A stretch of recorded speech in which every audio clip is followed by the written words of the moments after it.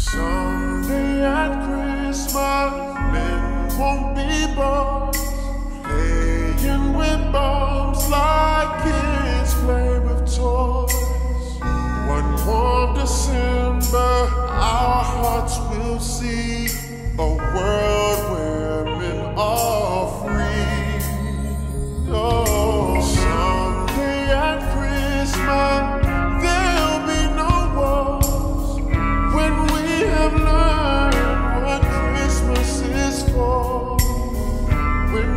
When we